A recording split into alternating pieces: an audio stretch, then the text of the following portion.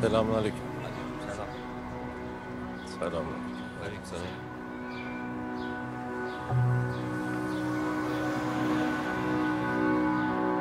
Cümleten selamünaleyküm.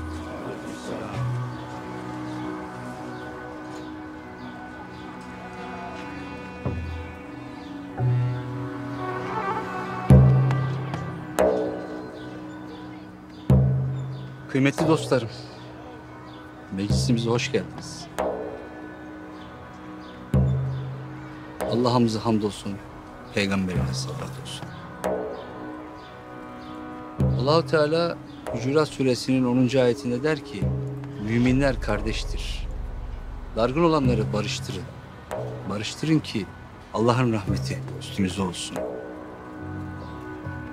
Biz de küskün olan kardeşlerimizin yuvalarına girdik ve onları barıştırmak için bugün burada toplandık.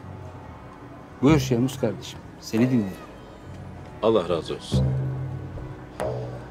Ben ömrümü intikam almakla, hapishanelerde cezamı çekmekle geçirdim. Evladımı toprağa verdim. Karım 20 yıldır yatağa bağlı yaşıyor. Bir daha kan akmasın, analar ağlamasın diye buraya geldim.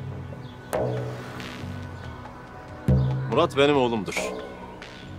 Bu barışın sağlanması için gereken her türlü bedeli ödemeye hazırım.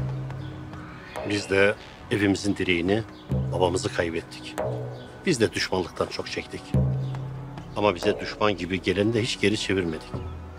Seni tanırız. Dilemişsin, buraya kadar gelmişsin. Biz de bir ananın feryadının gök kubbeyi deldiğini biliriz.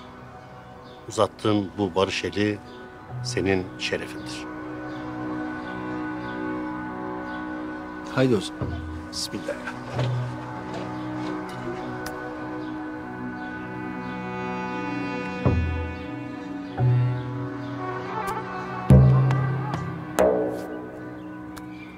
O babasının kanı için barış yaptı. Benim abimin kanı ne olacak? Abiler barışıyorsa sen de barışacaksın Eser. Neyin mevzusunu yapıyorsun? Vallahi kardeş, abi barış yaptı. Biz başta böyle konuşmadık. Öyle deme kardeş. Neticede siz de karşılık verdiniz. Abiler ne diyorsa saygı duyacak. O ne lan? Şahmuz Ağa'ya bak. Beyimizin ayağına gelmiş. Eski camlar bardak oldu süslü dayı. Herkes ayağımıza gelecek. O ne lan göt? Onur'un safına mı geçtin? Yok ya dayı bizim için dedim.